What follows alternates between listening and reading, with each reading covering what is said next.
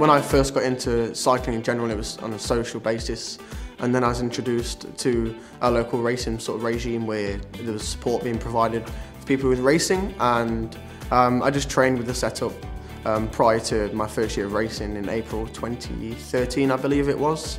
Well, it's the, the adrenaline. The adrenaline's certainly addictive. It's a, it's a hook and you know you, train hard and you, you want to win. You want to be the best of the best. The feeling of crossing the line first there's there's nothing quite like it. Um, sometimes it takes a, um, a while to actually for it to actually seem like reality but yeah there's nothing quite like the adrenaline of racing and it, it's very addictive and I just want to strive to, to succeed really just to, to be the best I can and, and be the best at racing really. I, I'd say that having all that support there it's um, it's pretty overwhelming. Um, but as a as a racing, racing cyclist, that's what you aspire to. It's great to be able to have that platform, to be able to be provided with that, to to be the best that you can, and it, it yeah, it's essentially living the dream in a way.